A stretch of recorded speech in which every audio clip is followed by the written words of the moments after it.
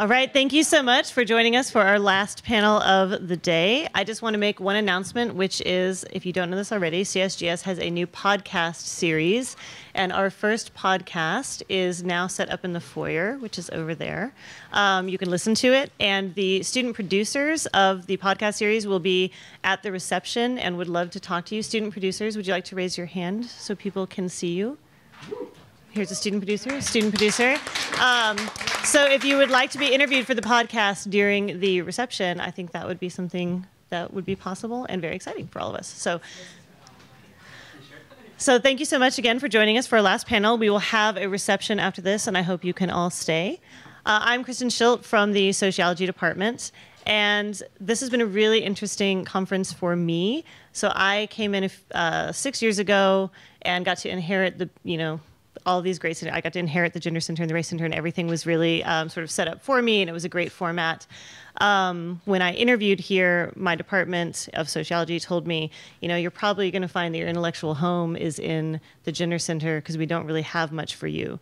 Um, and that was true. So, as was referenced in the talk last night, my department was notorious for not reappointing Marlene Dixon, a Marxist feminist sociologist, in 1969, which sparked a uh, student takeover. Um, when I came in, my department had just not tenured the other only feminist sociologist they'd ever had. Um, and so I uh, came in from UCLA where I felt that I had complained all the time about things being, you know, not, you know, radical enough, and then came here and thought, oh, well, I guess I didn't know how good I had it, right? Um, the Gender Center and the Race Center have really been a home for me. Um, I really feel that my work has changed a great deal from being able to be in an interdisciplinary setting and from getting to work with colleagues like Linda and Lauren and Rotana and teaching in the Gender Civ. Um, you know, and I've gotten to just see such a growth of the majors and um, the, you know the, the gender workshop, and it's just really been a great experience for me. One of the best parts of this, though, has come from my students, right? So my graduate students and my undergraduate students, where I feel like we're um, really working together to build a kind of community, which is something that I always wanted and thought, you know, how can you make this happen here? And it's just been, you know, incredibly exciting for me to see that take place. So the people who are on the panel today represent a group of our graduate students and undergraduates, and in one case, a soon-to-be postdoc. And these are all people who I have worked with in of settings or hope to work with um, in a variety of settings very soon. And what is interesting to me about their work is that they're all people who are working within gender and sexuality studies and often within um, race scholarship as well, and have really been a, a part of the life of the center in very central ways and are kind of thinking through questions of interdisciplinarity and also hybrid practice, right? So how do you take something that you're learning and turn it into art? How do you turn it into, um, you know, some kind of other form of cultural production? But how do you also sort of gain training, particularly in this increasing era of professionalization, in a discipline, but think through interdisciplinarity? And these are uh, some of the questions that I hope we are going to get to today. I've asked everybody to give a brief uh, five minute overview of their work. So we'll go through the panel in alphabetical order, and then we'll just have a panel discussion, and hopefully we'll open it up for questions for all of you. So I'm going to introduce everybody now, and then we will go uh, to the um, overviews of their work. So we have Jasmine Benjamin from Political Science. We have Jean Cochran from the Center of the Study of Gender and Sexuality, who will be graduating in less than two weeks, right? So two hours in, two hours we'll be graduating. Uh, we have Michael Dango, who's coming from English, um, Annie Heffernan, political science, Jenn Jackson, political science, yay, political science, you're doing better than sociology. So. Um, and Chase Joynt, who is about to finish a PhD in cinema media studies at York University and will be an incoming postdoc here at the Center for the Study of Gender and Sexuality. So I will turn this over to Jasmine. Thank you so much. Okay. Hi, everyone. Um, my name is Jasmine Benjamin, um, and I am a third year in the political science department, um, specifically studying American politics. Um, and my research examines events of highly publicized black deaths. So um, broadly thinking about the deaths of like Trayvon Martin, but also taking into also thinking about the death of Sandra Bland, um, Rekia Boyd, and sadly many other um, Black people who have been victims of police and vigilante violence. Um, so as of right now in my dissertation, I'm conceptualizing these events theoretically um, through this idea of the critical racial event. Um, and I'm still working through it a little bit. But um, so far, it's something that demonstrates race-based inequality, an event that demonstrates race-based inequality, discrimination, or violence committed by an individual or um, state actor. Um, it's circulated by like major news um, media outlets. Um, it has a racialized interpretation by racially marginalized groups, and then also it influences public discourse.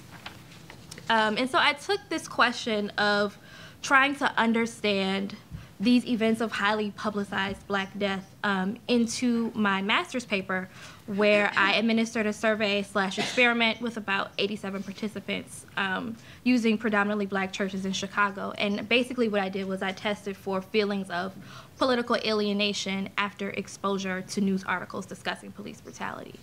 Um, I think overall, my work contends with three major things. Um, first, sort of understanding um, how do we theoretically understand these events.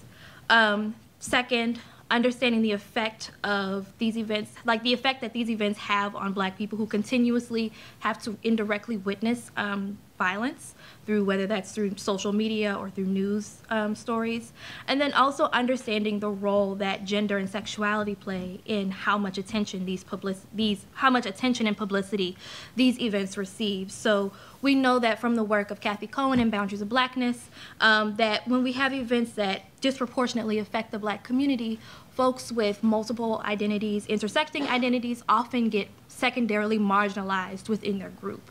Um, and so I think gender, in terms of moving my work forward, gender and sexuality are definitely going to be things that I'm contending with um, and trying to really understand how those affect political mobilization um, and how we think about these events. So that's a very brief overview of what I do. So I'll go ahead and pass it along. Oh, uh, which microphone should I take? Thank you. You're welcome. Um, so I'm Gene. Uh, I'm an undergraduate and I'm 22 years old. So you should like take my description of my work with a huge grain of salt. Um, and to anyone watching from the future, I'm sorry and don't judge me. Um, but I was I was born and raised in Hyde Park, which is kind of a big part of who I am and has informed a lot of what I've done here.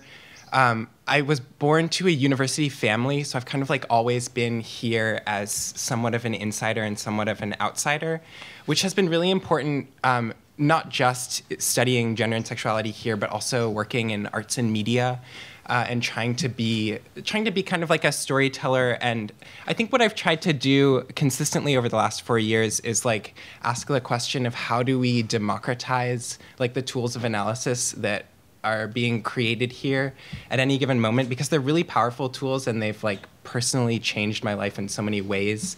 Um, but often I, I kind of seem held back in some sense or like uh, stored in the institution in maybe an unjust way. Um, so I started out my first two years uh, playing in a queer punk band. That was like the way I was doing that back at the time in like the classic 90s riot grrrl tradition and we made albums and music videos. Uh, we used to perform a song called "I Don't Trust Straight People," uh, which is another thing you shouldn't hold me to, but it was fun. Um, and then after that, I did kind of like journalism, media stuff. I did comics journalism for the Southside Weekly, which is like kind of a student paper, but not really a student paper. Um, they it's mostly run by students, but they almost never mention the university. It's exclusively about the South Side. So it kind of had this very similar focus that I had, where I like um, strongly identified as a South Sider and like politically aligned myself with the South Side as opposed to the university, but also was like undeniably tied up in that university, uh, totally inextricably, uh, in a way that makes no sense, but made for really interesting work. I thought. Uh, so I did a lot of comics about uh, covering like queer artists and events. Um, I did an awesome profile of Travis with Bia Malski. Uh, Travis is an amazing performing arts artist who's like 80 years old, um, and Bia Malski is a recent graduate who is much younger but equally amazing.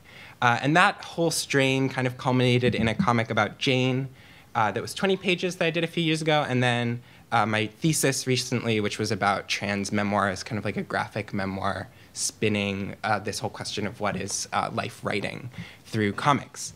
Um, I've kind of come to another crisis, like a similar crisis that I had about music, where I'm like feeling like comics isn't enough. So my work now is kind of transitioning into uh, more like digital and web-based tools. So last year, for one of Lauren Berlant's amazing classes, I made a uh, Twitter bot that automatically generates queer theory, and it's called it's called Queer Theory Bot, and it does it better than I do. Um, and then I also did for one of Patrick Jagoda's classes, uh, who's another professor who works with the center, um, a, a, game called Who Is This, which was a sci-fi um, smartphone simulator where you play a trans character trying to like navigate uh, the like dystopian near present.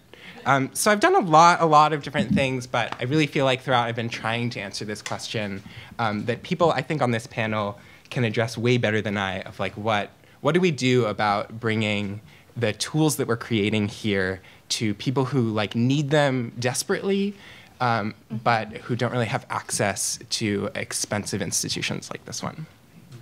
Thank you, Michael. Hi, everyone. I'm Michael. Um, so, first, I just wanted to echo uh, what Kristen said, framing this that uh, when I came here four years ago and was able to just plug into the Center for the Study of Gender and Sexuality as my sort of first intellectual home at the University of Chicago. That was really important to me and continues to be uh, a really valuable space for me. And as a fellow in the center uh, this year, I know that my work has been simultaneously accelerated and, and deepened uh, by the center. So I just really want to say thank you to um, all of the wonderful people in this room that have made so much available for me. Um, so one of the ways in which this panel was framed uh, to us was to think about maybe the intersection between some of our activist work and some of our academic work. Uh, and so that's what I kind of wanted to focus on uh, just in some of my brief comments now, uh, in part because uh, I've sometimes found it really difficult to mediate between those two spheres of my life and uh, thought it would be interesting to talk about some of the attempts to do that uh, that have been facilitated by the center uh, and also some of the challenges that continue to exist for me for that. Um, so when it comes to my more uh, sort of activisty work, or maybe I would prefer to call it advocacy work, uh, I sort of have commitments in two primary communities in Chicago. Uh, on the one hand, I'm involved in the rape crisis movement uh, and advocating for survivors of sexual violence, for instance, uh, in emergency rooms, accessing the, the kinds of services and, um, and institutional supports that they need and deserve. Uh, and I'm also uh, involved in the sex worker uh, rights community in Chicago uh, and creating a network uh, that we call the Pros Network Chicago of um, sex worker friendly organizations, everything from legal services to um, addiction services, healthcare, uh, all sorts of different kinds of institutions that have signed up to provide non judgmental services to sex workers. Um, and so that's, that's sort of some of my advocacy work. My academic work um, is not about sex work uh, and is uh, not even really about sexual violence. Uh, I'm in English, and my dissertation is on American novels uh, from 1980 to the present. Uh, I'm a formalist, which means that uh, I'm less interested in what novels are about and more uh, interested in the kinds of shapes that narratives take, uh, the pacing of sentences, the ways in which chapters get shorter and longer. Uh, and for me, when, I, when I'm thinking about form in novels, I believe that I'm simultaneously thinking about form in other spheres of experience. So I think that the things that I learn about novelistic form are teaching me about social form, about political form, even about economic form, uh, which is to say that it's a pretty abstract uh, kind of project oftentimes where we're uh, I'm, I'm often abstracting from the context that i'm looking at to think about patterns and gener general theories um, all sorts of things that sometimes don't seem to have to deal with people on the ground. Uh, but i think that these two parts of my experience, uh, I've always thought of as somehow being still intimately connected. And there are ways in which that plays out um, in a sort of literal way. So, for instance, you know, when I'm providing trainings to institutions in Chicago about how to provide best services or sort of best practices for working with sex workers, um, I have the benefit of having access to all of these academic databases uh, that cost thousands of dollars for other people to access. Um, and sometimes when you're talking to a therapist and you have a two hour training, um, they really just want some like social science data about things that uh, would be useful for them. So, you know, studies, for instance, about how uh, nurses and sex workers experience the same rates of emotional burnout um, are things that are sometimes useful to therapists uh, to have just like data and statistics about that. And so I'm able to leverage some of the, the sort of resources that I can access as an academic uh, to bring into those advocacy spaces. At the same time, the things that I think I've learned uh, about non hierarchical groups, about um, having sort of spaces where that are accessible to people uh, from all sorts of different kinds of backgrounds and abilities um, informs most importantly my teaching at the, the university. And i think it's it's the teaching that i really see as being the space that brings together some of my interest in advocacy uh, and some of my uh, academic interests as well. Um, so I'll conclude by just talking a little bit about a course that I taught last quarter um, called Theories of Sexual Violence in American Culture, uh, which was sponsored by the center here, uh, and which grew out of, uh, I TA'd the previous year a course called Theories uh, of Gender and Sexuality with Lauren Berlant and Kristen Schilt. Uh, which was transformational for me in terms of thinking about pedagogy and teaching. Uh, and I noticed in that course a lot of my students having a lot of curiosity around thinking about sexual violence in a, in a more theoretical way. And at the same time, there was lots of activism and advocacy among undergraduates in particular at the university related to Title IX, uh, related to all sorts of, uh, of um, conversations that were being had about campus climate uh, and sexual violence on campus. Um, and I think that I, I, noticed in some of these conversations uh, a, a, lot of excitement around mobilizing and around uh, activism for the cause and also some suspicion or skepticism about the ways, about the goals of some of that activism on campus. Um, so a lot of the activism, for instance, was interested in, in uh, developing the right policies that a university should have, in holding the university accountable to its policies uh, about how to handle Title IX proceedings and things like that. Um, and there maybe weren't as many conversations about culture or about transforming um, the social conditions that make sexual violence possible or permissible uh, in the campus, the different kinds of institutions and social spaces that contribute to that. Um, so I, I, wanted to teach a course in which we were theorizing more generally about those sort of cultural conditions uh, of sexual violence and, uh, and having a space where students could uh, could think more abstractly at the same time that they were also bringing in their experiences related to this particular uh, university. Um, I'm happy to talk about that some more, but I, just wanted to echo uh, what Roshana said in, in the previous panel, that teaching, I think, is really, for me, the space in which we get to practice some of the theories that we're simultaneously teaching, because we're interested in curating spaces that suspend for a moment the kinds of hierarchy and violence uh, that we're otherwise directly critiquing in some of our academic work.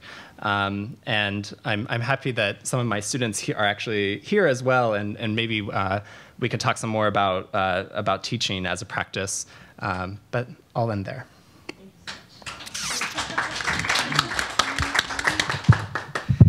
Okay, um, I'm Annie Heffernan. I'm also a third year in political science. Um, and I also want to echo um, Michael and Kristen in saying that the center has been really instrumental for me both in changing the direction of my research and doing political science, which I would not have expected, but also in creating a home at the university.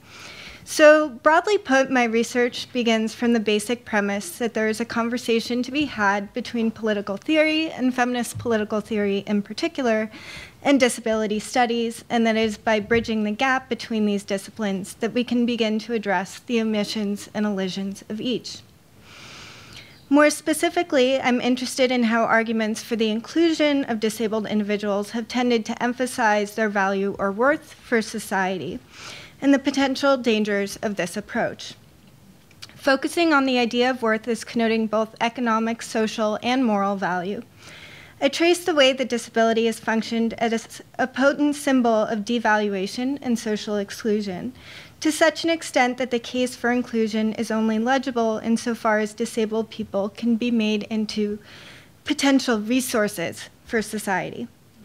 So here I focus on three separate cases or sites from which to interrogate this issue, and I'm just at the beginning of my dissertation research, so this very well could change. Um, so one is current debates within disability studies and activism regarding the permissibility of selective abortion and prenatal testing, state-sanctioned sterilization of disabled individuals, and particularly how they relate to productivity, so looking at the Buck v. Bell case, and the fraught relationship between employment and disability and the continued reliance and debate around sheltered workshops um, and the use of um, rules that allow employers to pay disabled people less than the minimum wage. So, considering claims to disabled inclusion in these terms, I argue, helps to illuminate the ways in which the concept of citizenship has become unthinkable without recourse to a notion of social value or worth. So this has implications beyond disability studies to how we think about the inclusion of other marginalized populations. So, okay.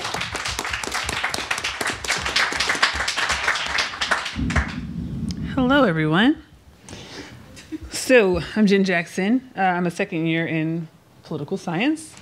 Um, and I'm going to start by giving like a brief background on, on myself because I think it helps to anchor the rest of what I have to say. So, um, I grew up in Oakland, California, and was socialized in such a way that I was told to deny a lot of who I was, to both to myself and to others. So, if you haven't noticed, I'm quite tall, um, and being in this body and in many spaces, and being queer, and being in a very religious family um, with a grandmother who was a pastor who can cast out tongues. Um, you know, I I, uh, I I struggled a lot growing up with where I where I fit um, and thinking about what my how I saw myself in terms of my gender and my sexuality and how I situated myself in terms of how I saw the rest of the world.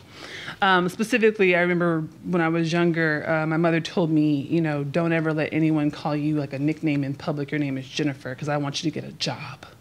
Um, and uh, and you see now I go by Jenn, but. Uh, Um, but j- that gives you an idea of like this kind of idea that I had to, in many ways, kind of deny a lot of my blackness um, and a lot of my kind of queer femininity and how I saw myself. I was told to take up less space and speak a little quieter and don't argue. And, um, and I broke all those rules and uh, ended up uh, at USC, first generation college student, had no idea what I was doing, but knew I wanted to do math. So I went into STEM and got an engineering degree, which gave me a whole new set of issues um, I had no clue that those things were coming. Um, and even worse, it gets worse. So, or better, worse or better, however you want to look at it, because I'm here now. Um, but then I ended up at Disney, of all places, um, doing uh, statistical work and forecasting at Disneyland and did that for five years and tried to get the white picket fence and the little nuclear family and live in Orange County. Spoiler alert. still found out, hey, you're still black and you're still queer, you're still a woman, and you still take a lot of space. Um, so in about 2009, 2010, I started to really struggle um, in ways that were new to me politically, seeing um, what was unfolding with the murder of Trayvon Martin and how the case was unfolding, simultaneously seeing the first presidential candidate kind of rise to the White House and that intersection of political events and also not being able to speak about them publicly in many spaces that I was in because I was in Orange County, which is one of the most conservative counties in the country or probably the world or universe. Um, and also being in that particular space with the, that kind of milieu of people, um, not really being able to express my blackness in ways um, that I thought, you know, if I were able to do that, I thought it would also be kind of detrimental to my economic mobility. Again, my mom said she wanted me to get a job. Um, so I had to work through that stuff. And so I think in terms of you know packing up and leaving California and coming here, um, it was partly because Cathy Cohen said yes, and so when Cathy Cohen says yes, you go. Um, but beyond that, you know, I, I really want to say that um, in terms of how I see the world and my work uh, and my activism and my advocacy, they are all informed by all of these kind of experiences that I have had. So I always talk about Orange County, and Omi knows what I'm talking about. Um, California, I know. Um, but like, I always talk about them in a negative way, but I will honestly say that without them, I would not be where I am today, and I would not have been a 30 year old mom of three, um, figuring out that maybe I should be somewhere else. And so I'm really happy that I've come here. So I do want to also say that my work could not be possible without um, really caring and, and patient mentors like Linda Zerilli, um, like Michael Dawson, like Cathy Cohen, who have really helped me kind of figure out what this whole thing is coming from a hard sciences background and being like, who is Marx? I don't know what that means. Um, and working through that. So in my second year, I will say that I do feel a little bit like I know what people are talking about sometimes, but I don't think you'll ever know everything. So I'm always learning. And I'm learning not just from my mentors, but also from my fabulous peers, from the staff, people like Dara Epison, people like Sarah Tui, who have been answering all my emails and helping me all this time. So I want to thank all of you for that. Um, but then I'll kind of get an idea of what I actually do. So, um, at present, we find ourselves in a moment where questions around invisibility and hypervisibility, self identity and social recognition, um, bodily autonomy, and limited agency emerge almost constantly. From the political rhetoric of the presidential campaign, Trump, um, to the public contention over lavatories. It seems like the politics of public space is one that is shifting, and perhaps our views of that conversation are shifting as well. Um, these are some of the fundamental puzzles with which my research is concerned. And as a political scientist who studies at the intersections of race, gender, class, and sexuality, I seek to unearth the ways that public space limits or expands political imaginaries for individuals and groups who find themselves situated on the margins of the mainstream my dissertation research uses mixed empirical methods, including political history, critical race and gender and sexuality theory, as well as qualitative methods like interviews to investigate how and where cis and trans black women and femmes make themselves, where they find themselves and come to know themselves socially and politically. Um, I draw on the works of, of literary scholars like Zora Neale Hurston and Toni Morrison and Claudia Rankine, among others, to think about how there have been very public conversations about black women's self-making that may have been overlooked as political declarations. Um, I also want to know uh, how we can explore these conversations in terms of resistance, the resistance against erasure and invisibility. This work draws upon the autobiographical works of Harriet Ann Jacobs, Ida B. Wells, Audre Lorde, Janet Mock, and other women who articulate the processes of self-making amidst pressures from the state. And that is not to say that I believe that self-making only happens as a result of pressure from the state, but that there are key points where pressures from the state change us in ways that are both um, important um, and influential of our kind of next selves that, that appear. Um, within these narratives, I focus specifically on the ways that gender and sexuality, like race and class, change the terrain upon which we travel towards finding, forging, and in many cases, reclaiming ourselves.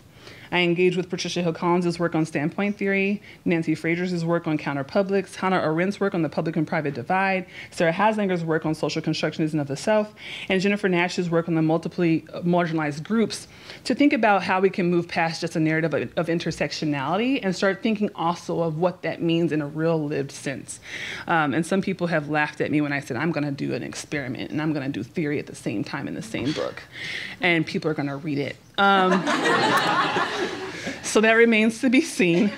Um, but my hope is that my work adds yet another lens through which to gain clarity on Black women's political lives in the United States, um, and also to add kind of a, to broaden this conversation. I think it's very important for me. I have a very good friend who says that she wants her work to be something where her aunt can take it and read it and do something with it. And I think that um, for me, when I first experienced that, that was Melissa Harris Perry's work on Sister Citizen, and it was Audre Lorde. When Audre Lorde said, if I didn't define myself for myself, I would be crunched into other people's fantasies for me and eaten alive. And the quote was so palpable for me because I think about how many times I've thought about the idea of death and feeling like in public, I often feel like part of me is dying when I'm not able to express it or live it or believe that it's actually there when I know for sure it is. Um, and so I really want to give voice to those particular um, identities and those intersections of the self and, and add conversation to how we think about what it means to make the self and that it's actually more than just my hair or my clothing or how I present myself or what my gender looks like to others. It's really about how I come to know me even in my private life, if I actually am someone who has access to a private life and what that means. So I'm rambling on, but that's all I have. So.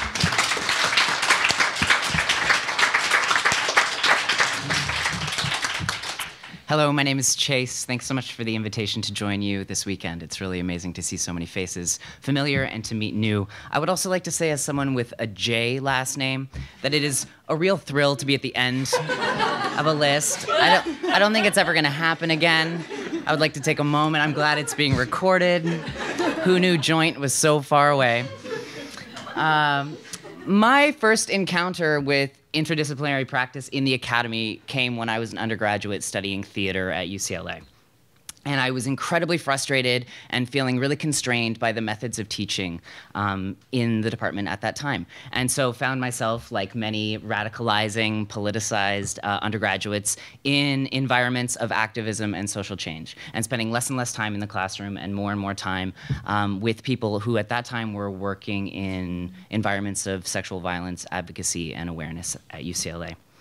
And all of a sudden, I realized that some of the activist strategies that I was learning from my peers at that time started to infiltrate my art practice. And I was bringing back strategies directly into the classroom, whether I thought it was to disrupt the canon of theater or whatever I was doing at that time. But they were these small inklings, these small tools that started to amass over many years at that time at UCLA, I also met Kristen, who was finishing her PhD, and I can attest that Kristen has always been the community maker in in all environments of things queer and trans and institutions that might not be able to see them. So it's kind of incredible to be here.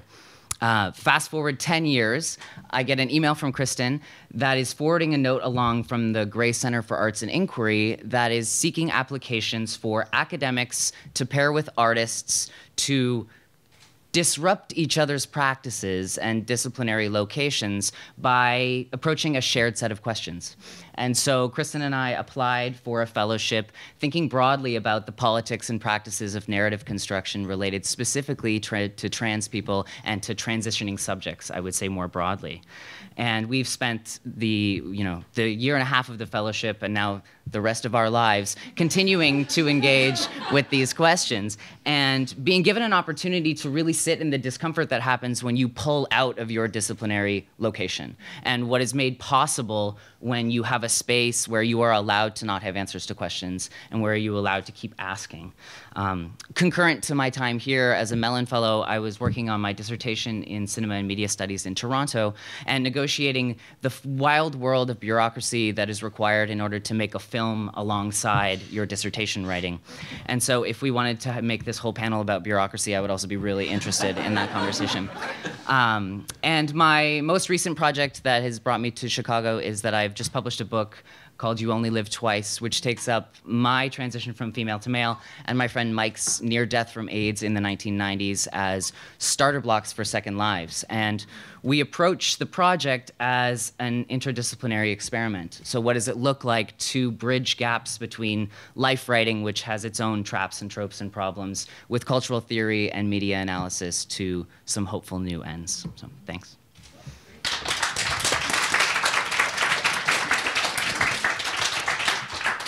I mean, one thing that's been interesting to me listening to you all on this panel is about the kind of divide between what we might consider sort of activist or political commitments and disciplinary like conventions. Um, and I think about this a lot as you know somebody who was trained as a sociologist, um, but also somebody who like had a deep commitment to feminist and queer politics, but kept those very separate um, that you know there was sort of my activist work and then there was my academic life and i kind of found a way to like make them work but i just didn't really say very much about it right while i was doing it. Um, and you know so i think a lot about those tensions particularly in this age of increasing professionalization for graduate students right where it's like the day you come in it's like how are you going to get a job? Like what's the job market going to look like? Like do you have your job talk ready yet? You know like what's your what's your elevator speech for you know? And so i think a lot about what is this kind of professionalization doing? At the same time that i do a lot of panels for grad students about professionalization. So, what is it doing to, um, you know, like what are the kinds of tensions that you know some of you have felt about, you know, being in a discipline and trying to do sort of disciplinary work, but also trying to find ways to kind of break that up. And I just thought maybe we could talk a little bit about those tensions. And it's open to anybody. No alphabetical order is now necessary. so I can I can speak to that. So um, one thing I didn't note is that I'm the I'm the managing editor of Black Youth Project, and I've been um, I've been writing on race and gender and sexuality and lifeness since about 2009, 2010. And I think that um, I didn't see the ways that that intersected with my academic work until like actually other people started saying it. They're like, you do understand that this is almost like the thing you wrote the other day, right? Um, and I think that there's a lot of times where we are almost situated. I think, especially at a university like this, it's it's just like a highly competitive university, where it seems like it's almost as if the the objective and the the goal is is the professional, it is the career, but we don't see the ways that so much of that is already informed by how we live our lives, and I think that. Um, you know, especially for folks who who identify with certain marginal identities, um, that can be very difficult. So I, I mean, I think I don't know if I'm answering your question, but I think that for me, what I I think at one point, I think it was last year sometime, I just decided I said I gotta stop thinking that somehow I'm gonna like magically wake up tomorrow and everything I do will be this like seen as some type of mainstream, you know, new canon, you know, and and just embrace what I'm doing because it's valid and it's important, um, and the people who need it will find it and the the folks who um, support my work are here and and appreciate it. And so I think that it can be hard because in a lot of ways professionalism is itself a violent thing. Um, and I, I, I, I, don't think it's easy at all, but I do think that specifically having centers like this um, make that process a lot easier to, to embark upon, I would, I would say.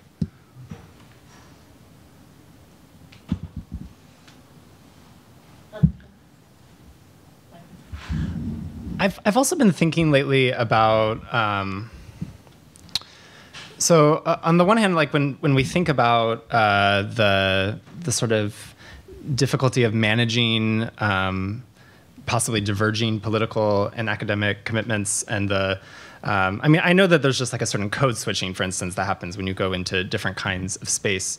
Um, I've also been thinking today during some of the panels about um, I mean, just sort of owning the privilege also of being an academic, and that there there is a lot of freedom that that gives you um, in in your work that that I don't always feel like we have in in some advocacy sorts of settings. So, for instance, um, I feel that in academic settings. Um, I have a lot of liberty to experiment uh, with different kinds of ideas and to fail in those experiments. You know, like a couple summers ago, my interest in form had me like reading the continental philosophy of mathematics for like four or five months. I really thought this was going to radically help how I understood social form. There were reasons to think this. You know, Deleuze's arguments about ideas, indifference, and repetition are completely derivative of a philosopher of mathematics named Philip Lautman. So I really thought this was going to help me, and it obviously it didn't. Right? Like it was, it didn't, it didn't work out. But I, I could spend four months having the thought that it could. and in advocacy settings, uh, sometimes it seems like the stakes are a little higher when you're trying to advocate for somebody to access resources that are being denied to them. Um, this isn't to say that activism isn't experimental and doesn't have failures. Of course it does, uh, but it like sucks more when there are those kind of blockages. Um, so I, have been thinking a little bit today about just owning the the sort of on the one hand it, it can be very challenging to feel like your academic work is disconnected from your advocacy work uh, it can also be very liberating that your activism isn't being held accountable or that your ac- academic work isn't being held accountable to that activism in the same way.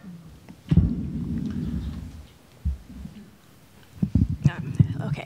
Um, so, Michael, I think what you're saying is important, and um, thinking about, like, for myself, that was actually a conversation that I had with a past professor of mine, um, thinking about how I could sort of navigate, better navigate the privilege of being an academic um, and doing work that examines communities that don't necessarily have um, access to this space. Um, and one of the things that came out of that conversation with the professor I was speaking with was not necessarily getting caught up in the privilege that I have, but trying to think through ways that I could um, help other folks who may not have access to this space gain that access. Mm-hmm. And and sort of further thinking about that, even this morning, um, something that's come up for me is trying to find a niche between like using the research skills that I have already and um, trying to find ways that I can volunteer for organizations or better use those skills to assist populations that are not just limited to the university space. Um, and then just to sort of go back to the original question, um, I think I've been able to best navigate my political commitments and my scholarship um, by pursuing exactly what I'm interested in. Um, like that's been the best way of just sort of focusing in on understanding this very specific thing of like indirectly wit- continuously indirectly witnessing violence and what that does. Um, for me, that's been very satisfying in being being able to sort of combine those two things. Can I? Um, yeah, I, I don't. I have very complicated feelings about this. I want to like. Uh, dig into that that question of like academic uh, freedom on like an undergraduate level.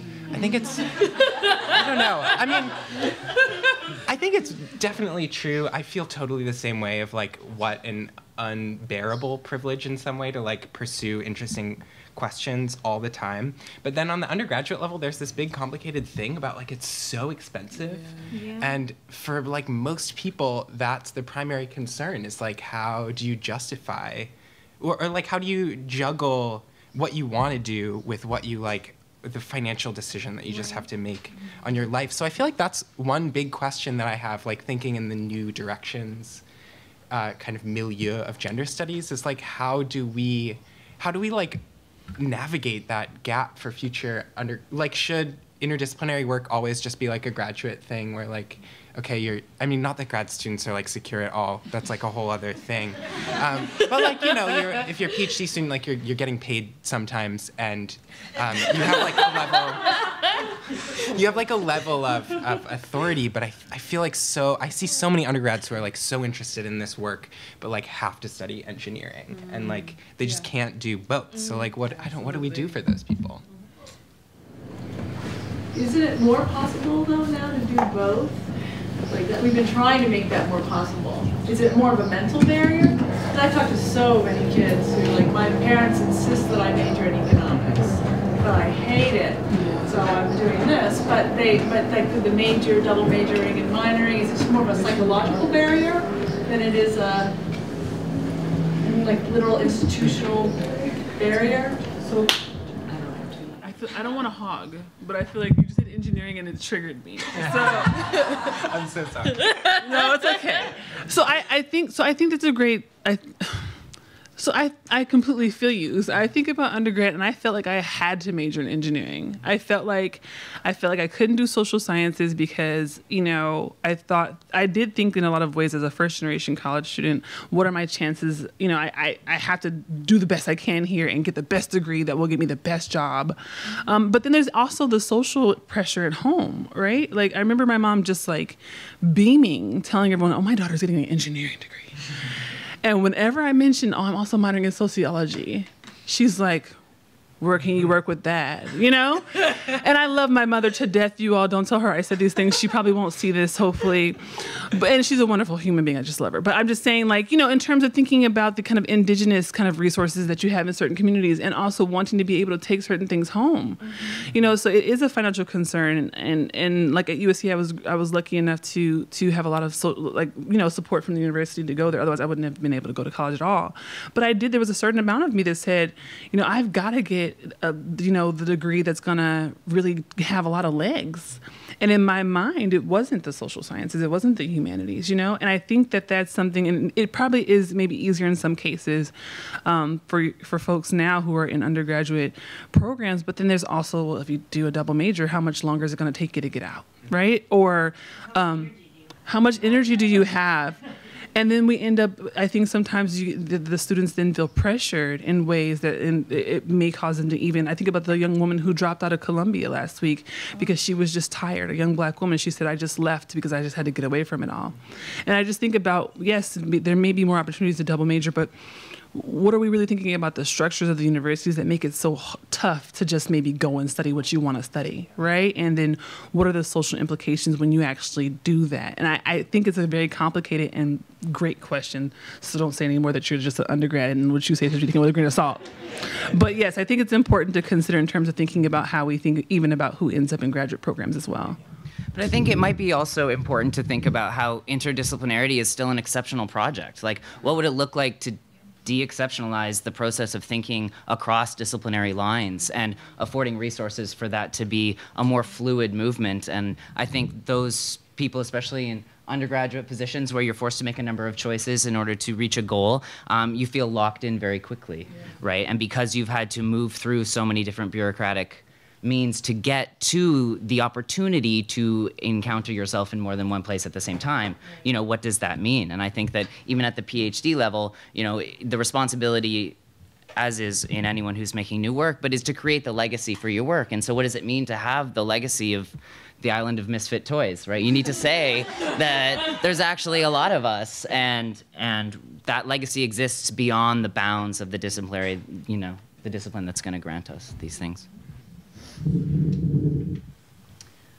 um, and so, I mean, I think, you know, that does, since Chase is going to bring up bureaucracy uh, again, um, I mean, I, I do think we could think through, like, what are some of the bureaucratic sort of obstacles to doing this, right? And I think some of it is, um, you know, some of the things we can change. We can make things more possible in terms of double majors, or some of my students do some of their triple majoring, which just like makes me like want to be tired for them. Um, but so you can change like the kind of institutional like curriculum, um, but you know, what are some of the other kinds of like things that would have to shift to make interdisciplinarity um, less of a kind of specialized project, right? That maybe you get it if you can major in gender and sexuality studies, which is, you know, by definition going to be interdisciplinary, um, but it's going to be harder if you're in other fields, right? So, I mean, I'm, I'm curious in sort of your take on what are some of the kind of bureaucratic obstacles. Yeah. um, thing, but I have um, I've been approached by a number of undergrads wanting to do work in disability studies, and the lack of faculty is a huge thing. So, and especially with faculty who are amenable to it going on leave, that um, uh, that no, I mean it is. She's approached like ten faculty um, and as a result has gone back to do an independent study on her own with another graduate student using a syllabus from a graduate student here from a couple years ago, Claire McKinney. Um, and so while there's a lot of interest, I think both within gender and sexuality studies and especially in disability studies, there really isn't a faculty presence as welcoming as the faculty is, and they've been amazingly welcoming in comparison, so I did my undergrad at Harvard. There, it was completely like, this is not something you do. And in terms of gender and sexuality studies, they had no, at least at the time I was there, they had no standing faculty. So the introductory classes were taught by visiting professors. Um, and usually like well-known visiting professors. Um, so Jack Halberstam taught, you know, intro, but um, I think translating the willingness to do interdisciplinary work into actually having faculty yeah. that mm-hmm. can help with that. So. I think on the um, on the staff level, there's a lot that you can do, and I think the center is a great model for that. Like not just because like we're celebrating the center, um, but also like just literally um, like I'm thinking of my experiences with Sarah Tui and Tate Brazas in particular are like incredible. I, I can't believe they happened. Like, I can't believe the kind of stuff that they let me do here, um, and how ridiculously permissible everyone is about uh, putting. I came to Sarah two years ago and asked her if I could put on a rock opera in the center, and she said as long as I like locked the door after I left, it was fine. Um, and like maybe that's not a great example for supporting scholarly study. Um, I certainly thought there was a lot of thought behind it, uh, and it was it was useful. But just that spirit that the center has constantly of like, yes, we'll do the thing that you want to do, and we'll put money behind it, and we'll put like effort and resources, and we'll acknowledge that the interdisciplinarity of it uh, matters and is is valuable is huge. And I feel like. Uh, I feel like that would be interesting to see in other places. I, I feel like from the like gender studies department, there's just such an incredible willingness to to do things, but that I feel a lot of students who are in more traditional disciplines that there's kind of pushback yeah.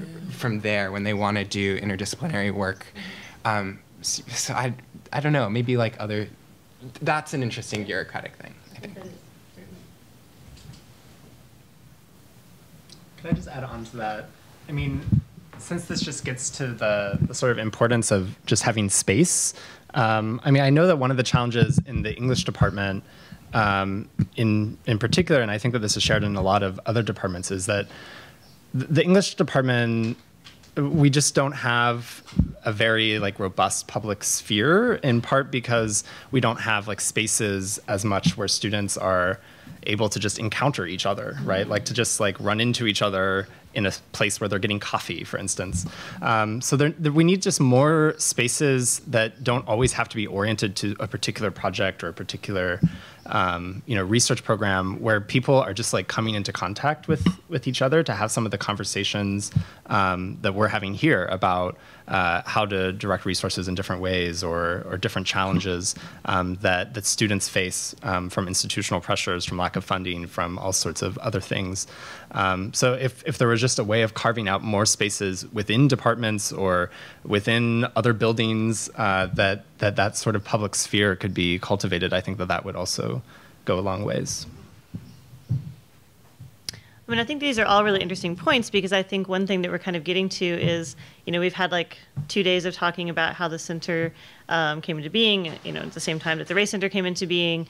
And part of the legacy of that, you know, is this great panel and all of you in the audience, and this is wonderful. But it's also the idea that these become the places where gender and race happen, and it lets everyone else off the hook, right? And so it's like a sense of like, oh, are you interested in gender? We'll go to the gender center because sociology can't help you or engineering can't help you. And you know, I think the fact that we don't have our own faculty, right? That all of us who participate participate from a department where we have an enormous amount of other requirements, um, and you know that becomes really difficult. And I think that you know, when I think about like it's great to celebrate 20 years, and I'm like, but what's next? Like, what are the next 20 years, right? And I feel like the next 20 years are like agitating for the fact that like it can't be our responsibility to be the only place that's going to talk about intersectionality or race or gender even, um, and to think about how to put pressure on the administration about like the faculty hires are important, right? I mean, space is important. Like if you have, you know, 2,000 undergrads that are interested in gender and race, and you have 10 faculty who are trying to supervise all their BA theses, mm-hmm. you get things like, I'm going to go somewhere else as a faculty member where there's more institutional support, right? Which is like not what we want, right? And so I think that, um, you know, I'm always struck with what a great community it is, but how it really is kind of like sometimes hanging by a thread, you know, in terms of who's on leave and like who's here and who has the energy to keep doing things. And, um, you know, I've been incredibly like the times in which it has started to get to me, um, you know, it's really like my undergrads and my grad students who show up for things when they're tired and like they have a million other things to do and like they come and be a community. And I think that that's something that really makes me be like, okay, I can come back at seven o'clock to an event and like show up and be there, you know, or like, you know, like Lauren and Linda and like, you know, the countless people who show up too. And, but then I also think like, but we're not enough, right? You know, and like, and that's the thing that really, um, I think going forward, think like, how do we do this, right? Like, how do we actually make this so it's not just um, if you have the space in your schedule or the luxury to do, you know, gender and sexuality studies, you get this kind of like environment. But if you don't, then, you know, hopefully your department has someone who's interested, but maybe not, right?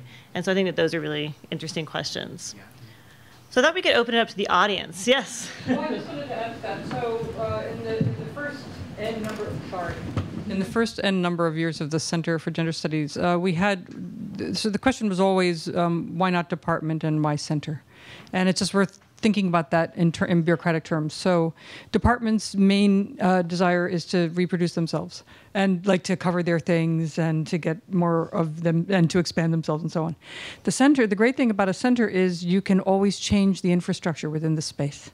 And I think that's really what Jean has, was talking about too. And we had um, in those days we had a thing where we we offered I don't know five or ten grants for faculty student collaboration uh, for two years. So reading groups and conferences and stuff like that. So you would have projects. So thinking about the relation between a project and a major is really interesting because majoring is only one of the ways you get continuity, knowledge continuity, but projects are another way. And um, so I think it's also about inventing genres for continuity that could really help think about what, you know, how to work what's inflexible, relatively inflexible, and relatively flexible in a university institution. And that also includes bringing people from the outside all the time and folding them in in the way that the, all these newer structures um, can foment.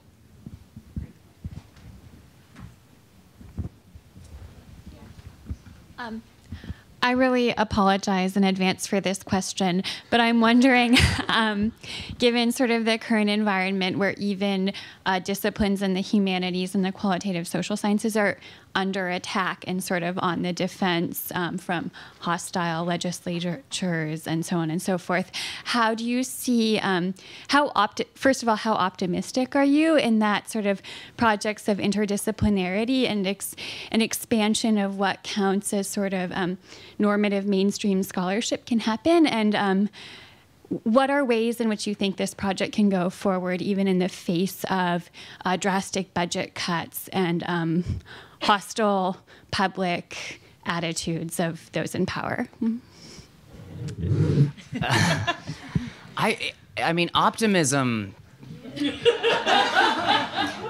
um, it's the only way we can be here, in my opinion, right? I mean, this sort of integrated, cross disciplinary colleague based sitting on a table because we've only ever actually seen each other in this building right. like over the years um, style of relationship i think keeps us all asking these questions together and i also think you know learning from the leaders of black lives matter right now learning from people who are on the vanguard of trans rights, thinking about the people who are making major systemic changes and agitating in ways that are incredibly important, will impact the types of agitation that we are attempting within the confines of these walls or this, you know, location. Mm-hmm.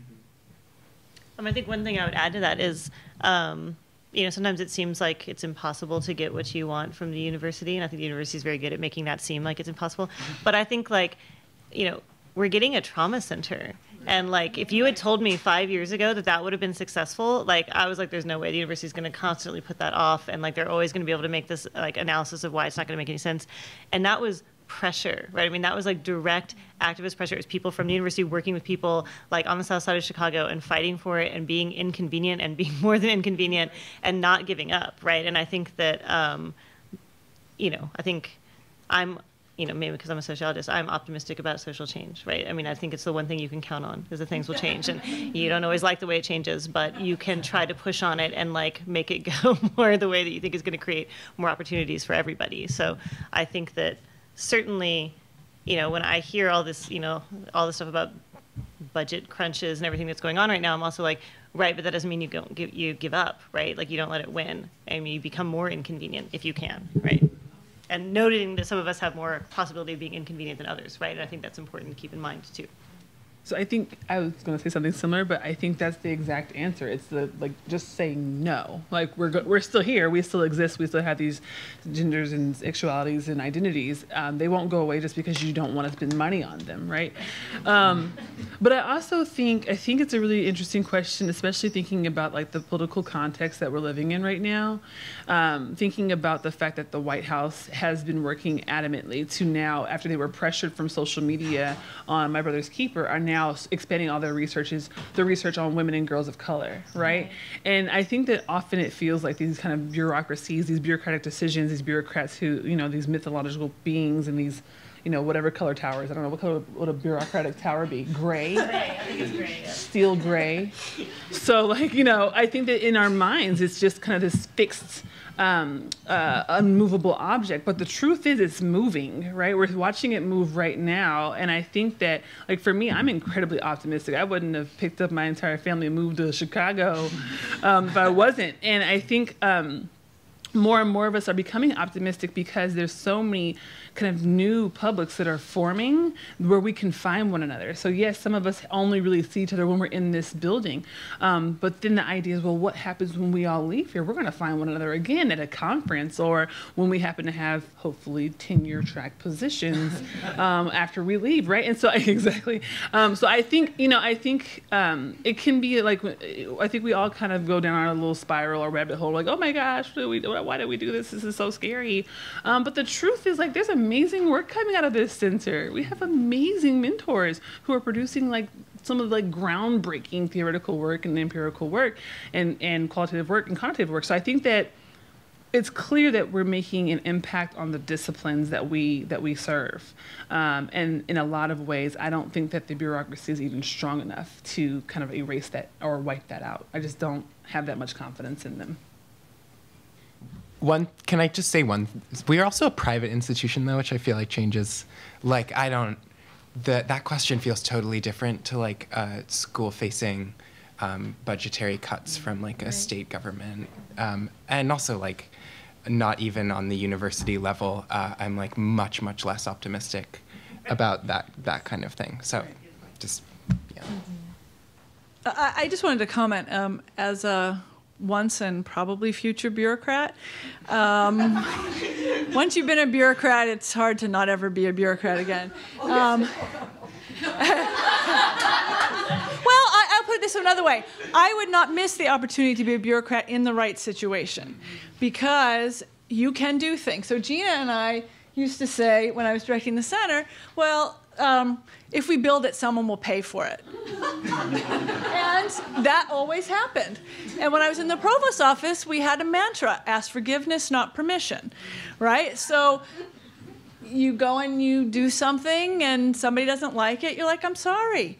But you did it and something happened, or they don't say they're, they don't ask you to, you know. So, like, I, bureaucracies are just people doing jobs. Most of them not very well. A lot of them with great passion and commitment to doing something.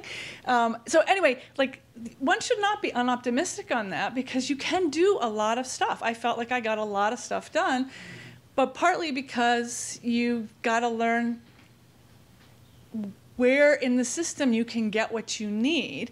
But I think that I would say it's like keep building stuff because someone will figure out it's a good idea and it's always going to be slow. Your arc of change cannot be next year.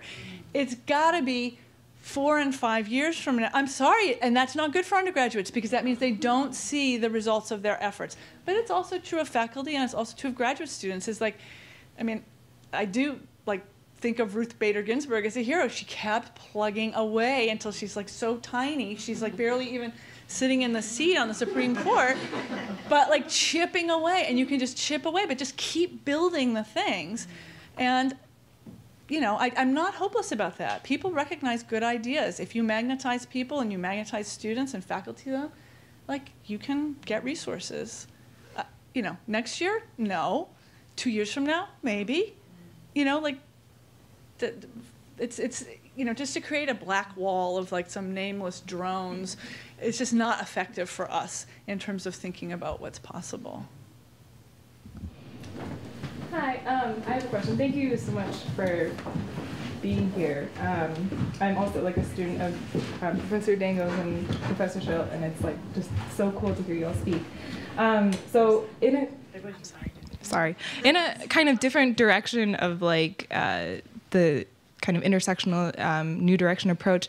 So I have this question because you had mentioned like pushing beyond intersectionality. Like here at the university, um, a lot of the women of color who have like interests and stakes in studying women of color, like we, you know, come to the 20th anniversary gender celebration. We come to the 20th anniversary race center celebration. We have, you know, I am like I have a foot in like the gender major, right, and then a foot in the race major, and then I'm also in sociology. So I'm wondering, like, when we're thinking about pushing in new directions or like interdisciplinarily, um, like, what is that? How do how do you kind of imagine, like, um, and even take into account, for example, like queer critical studies or like disability and all these kind of different axes of like oppression right like how um, how am i supposed to or like how can we imagine in the future like navigating a like the institution of right like the um, sorry the university. Like how do we navigate the university when like you're occupying when it's almost like you know you ha- you have like Cathy Cohen who comes out with just incredible work but then I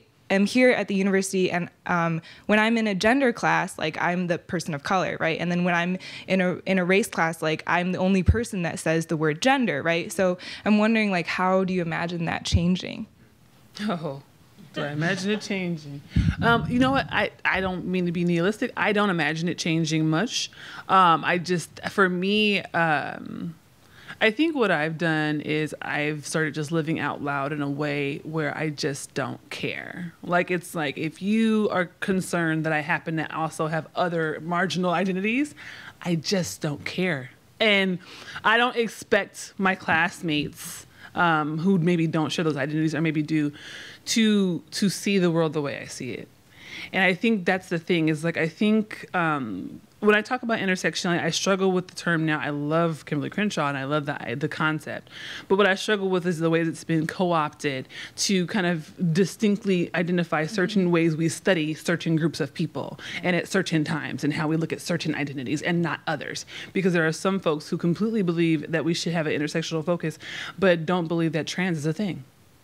And it's like, how? How do you do this, right? And so I, I think for me, um, it's less about thinking about how I can get the structures or the, you know, the folks who are maybe not as amenable or um, acquainted with my work to change, and more my perspective of those structures and those individuals to change. Because the truth is, um, like I said earlier, I mean, I think that the work that we do is so vitally important and is representative of a very um, of, of mostly folks who have not have been given voice before, who have not been necessarily represented in academic work. And so, if I um, get wrapped up in how, uh, you know, very I say traditional, but we know what I mean by traditional um, institutions and people see that work, I'm going to end up producing the same kind of um, non-fluid, not innovative kind of uh, of of research. So I mean, I I totally get what you're saying about being the the race person in the room, and everyone looks at you when they say like black or something like, oh yeah, it's me, or you know, being the one woman in the room, and it's like, okay, now we have to talk about women's issues. Hey, Jenn, what do you think about this? You know, and that and I I think you know it's uncomfortable. I just don't think it's going to be something that, especially at a, a PWI, um, you know, that serves, you know, typically a very type, a particular type of audience. Um, students here from a lot of different ranges of backgrounds, but we do we know that this is an elite university. I don't think that that will fundamentally change in those kind of circles, which is why these spaces are so important. So I mean, again, I don't want to be nihilistic. I just don't think it's something where we can say, and I don't think we should try to be the critical mass to try and change it because I don't I don't think it's fair for a critical mass of people of color or people of certain identities to then have to be the, the, thing that changes it, right? I think the best thing that we can do is live our lives authentically as we are and find safe spaces and safe others who live those lives with us so that we don't have to be afraid or concerned. And it doesn't feel like we're being courageous just by sitting in a chair in class right? I think that's a better way to maybe approach it. Um, other people may have a different perspective but that's how i've decided to live um, on this campus in this moment of history as a student, I think a lot about my citational practices. So I think about who maybe we cannot encounter the whole, right? But who in a paper or who in a film can I be reading alongside?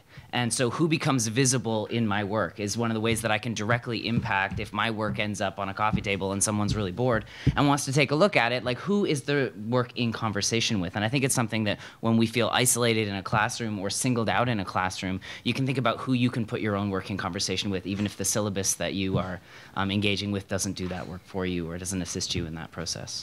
Small, tiny moments like that. And also, like, do you feel like there's a relationship between collaboration and citational practices too? Because what you're saying now reminds me a lot of what you were saying on Monday during your book talk about like collaboration being kind of an encounter between different subjectivities and a way of like keeping your work engaged in other people. Yeah, I mean, I think it, I'm pretty sure it's you. Lauren Berlant. I, I mean, I'm just gonna pair.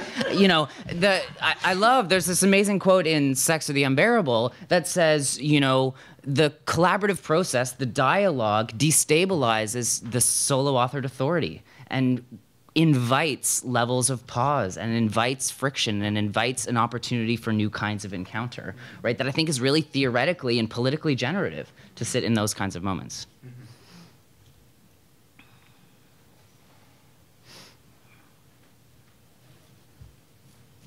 Mm-hmm. So thank you all for your really great comments and also just for being here.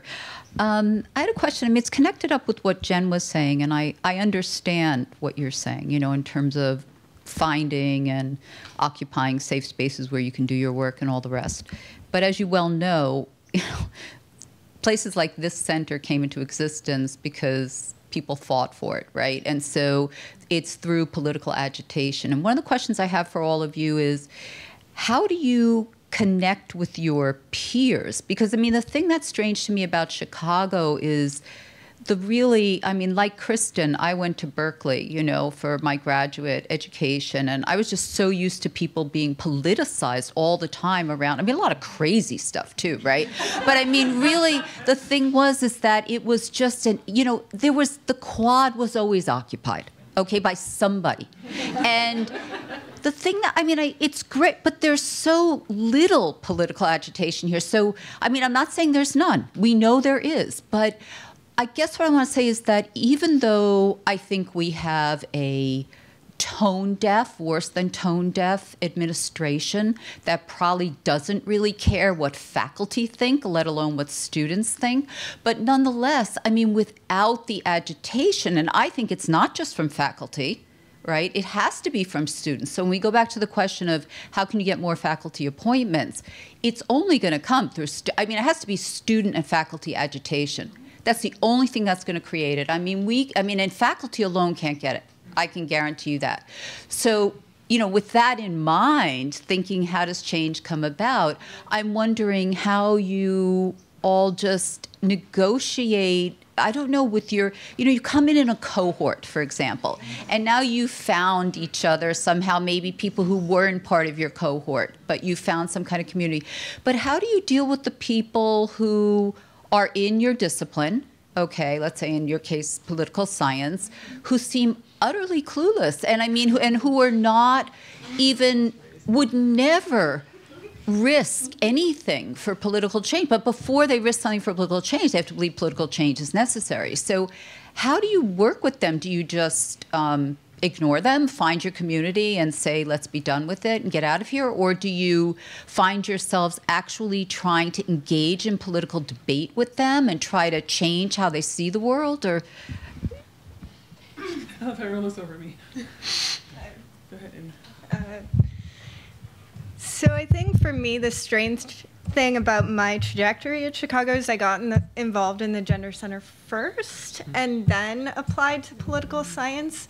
So it's actually been very hard to sort of find a home in political science mm-hmm. now because I feel like I know this is my home, I know the people here, and on the question of space, there, we also don't have space mm-hmm. for students in political science. So it's just easier to exist here and have a space. Um, but yeah, I think it has been very hard to translate what I do, even to cohort mates who are, and professors who are um, friendly to it, because I always feel like I'm sort of saying, well, I think this is political science, but I'm not really sure. If you look at it this way, it might be. Um, so, yeah, I think it is. It is very difficult, um, and at the same time that the center has been a real benefit, it also makes me aware of how little I've been involved in the department. I mean, I know everybody and I go over there, but especially as I've gotten out of coursework, I don't really go to Pick Hall, except to the workshop. And that's kind of fine, but it's also sort of how do I identify as that as well as someone who does this kind of work. I mean, I was just going to say ditto. I mean, I think that the the gender studies workshop here was my first real intellectual community at the University of Chicago, and I think has continued to be the most important one to me. And ever since, um, you know, I, I, don't find the English department hostile at all to the work I do. Um, I do think, though, that you know, it matters that it matters to me that like people show up for for things and for the spaces and communities that we're trying to create. And um, there are a lot of people in the English department. I'm talking about my peers who, you know, say like, "Oh yeah, like we get the sort of feminist thing, we get the the queer theory thing, but like would never come, of course, to a gender and sexuality studies workshop. So they're not actually trying to show up in the same world with me. They're not trying to, you know, create a community. Um, and that it, it really matters to me just that like people come to a workshop. Like I actually think that that is really important. And um, the the only spaces in which people keep coming that I want to be in are are here. Um, so, I mean, I, I know that it, it is, I, I, just wanted to echo something that Jenn said too, that it is always upon the, you know, more marginalized um, people in, in a community to like do the work of brokerage and, and outreach. Um, and I understand that that's important and that, uh, you know, it is important to agitate and to be continuing to talk with our peers. Um, but sometimes it also is important just to develop the communities that you have and hope that other people will keep wanting to come if you really make it a good community. Can I? I'm, i want to address an aspect of your question that was really interesting to me, but wasn't really involved in the question. Um, I'm thinking a lot about what you were saying about um, like student involvement in agitation, uh, particularly for faculty. Um, which I, you know, I'm trying to think about that milieu and realizing that I really don't know anything about like what the process is like for faculty to be tenured here and that strikes me as like really upsetting that I don't know anything about that as an as an undergraduate. Uh, and so I like wonder what the possibilities are for coalition there between faculty, grad student, and undergrad, not even in the same department, just like as mm-hmm. people occupying the same space for being involved in that kind of agitation and maybe even like organizing in favor of of certain types of faculty and certain types of hiring practice. I'm like thinking of the Marlene Dixon um, like amazing hubbub as uh, a, like a really interesting example of that happening in a different time period, admittedly, in the same way that Berkeley is maybe in a different time and space as our political mindset. But you know, it's also not that far, though. Like you look at the work that the uh, Trauma Center Coalition was doing, a lot, a lot of students, grad students, and also alumni, which was a really interesting, really effective strategy. Uh, and they're like getting what they want, and they're crossing boundaries uh, between these kind of different hierarchies of institutional affiliation uh, in such effective strategic ways. So that was a long way of saying I really liked your comment, and I'm thinking that that's like fertile ground for something in the future. I think what's really interesting in your comment, Jean, too, is the assertion of a committee of sorts to be able to discuss to discuss these processes assumes a stable understanding of tenure right mm-hmm. it assumes that in a meeting we would be able to discuss what's what tenure is as if it would apply to every human who is approaching such a mark, right? And so part of that conversation actually has to unpack and detangle the processes that make tenure so successfully um, amorphous for some people. So can I speak to Linda's point really quickly about, I, I totally agree with what you're saying. I think for me, um, like as someone who tried to be an activist in undergrad and just failed miserably um, not maybe not an organizer i wasn't really good at it um, but but i think um, I think since you know I'm 31 now, and so I know I feel so old now, but um, I think about how my how my conception of of of being political and like agitation has changed over the last like 10 years.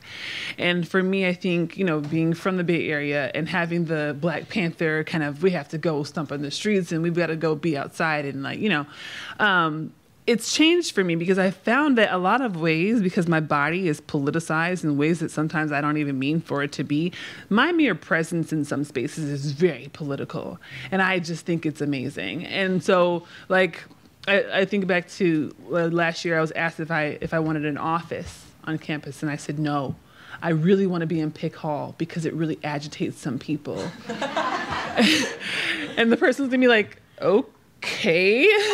You know but i think I, I i mean i agree. I do think i mean and i'm a person who like you'll see me in the gender center you'll see me in the race center you'll see me here at, at certain events but you'll also very much so see me prominently at other spaces on campus that i feel are hostile and violent to people who are typically not represented in those spaces. And you know i i think that that's also very very political and it is a is a type of agitation. Um and i i I also am like keenly aware with like you know self care and like being a an undergrad graduate student who has all these kind of burdens and financial concerns and all these other things going on and then having to you know be the change all the time and the stress of always having to be the change you know? And so I think I, I think what I've been trying to to do at least personally and also with like my social groups is we talk about these things. We talk about where are we willing to put ourselves out there? Where are we willing to put ourselves at risk?